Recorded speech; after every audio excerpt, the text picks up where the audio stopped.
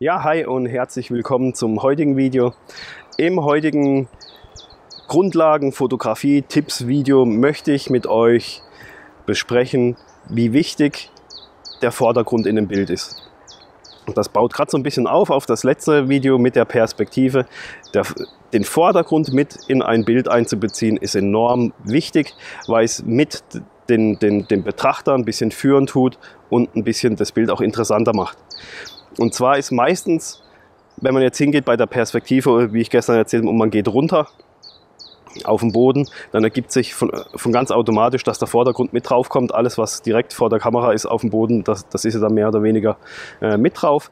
Aber eben, es ist enorm wichtig und enorm interessant, wenn ihr irgendwas mit in den Vordergrund mit einbezieht. Das, das, muss auch nichts Spektakuläres sein. Es ist einfach, das, da reicht, wenn es ein Stein ist, wenn es ein Ast ist, ähm, ist völlig egal. Ähm, kann auch eine Blume sein oder irgendwas. Ein, ein, Tierchen, ein kleiner, kleiner Felshügelchen, irgendwie, also so ein größer, größerer Rugel oder ein Stückchen Moos, ir irgendwas, was was im Vordergrund liegt, weil damit macht ihr, damit führt ihr den, den Betrachter schon automatisch zunächst auf diesen Vordergrund und dann kann dann ist er erstmal mit, mit, dem Blick fixiert auf dem Vordergrund und kann dann seinen Blick durchs Bild einfach schweifen lassen. Und dadurch wird ein Bild schon viel, viel interessanter, ähm, wie wenn im Vordergrund einfach nichts ist. Wenn einfach so in der Hälfte des Bildes dann erstmal die Wiese anfängt oder die Bäume oder das Meer anfängt, ähm, dann ist das bei weitem nicht so interessant, wie wenn da ein spannender Vordergrund mit im Bild dabei ist. Also schaut einfach, ähm, wenn ihr Landschaftsfotos macht, dass ihr irgendwas Interessantes irgendwie in den Vordergrund mit reinbekommt. Das muss, wie gesagt, nichts Spektakuläres sein. Das kann auch wie hier so ein paar Schilfrohre, was ganz Simples, was ganz Einfaches sein.